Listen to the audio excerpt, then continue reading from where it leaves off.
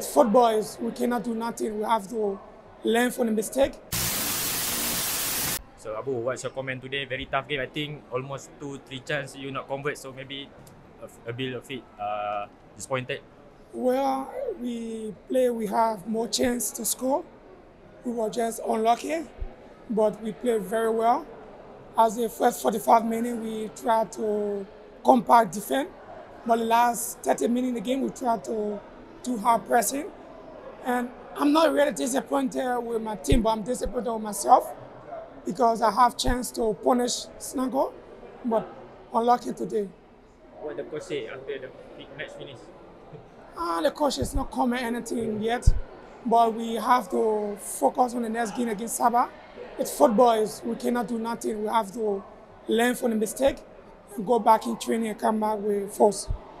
You will get a new teammates. So are you looking forward for that partnership? Yeah, yeah, yeah, yeah. We still have a new player. They could not play today because of the registration, but I think second second game against Sabah will be different because it will be a great help to the team. I think uh, last season you were top scorer for Kuching, right? So this season maybe a bit hard for you because uh, the different league, right? So your comment? Yeah, last season it was the second league, and this is Super League. And, and a lot of good players, more especially in Selangor.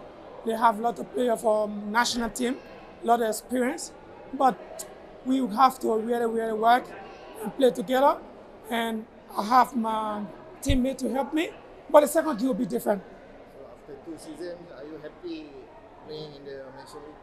Yeah, I have. I have a now Malaysia League is getting better every every year is improving. A lot of improvement. I'm very happy to play in the league.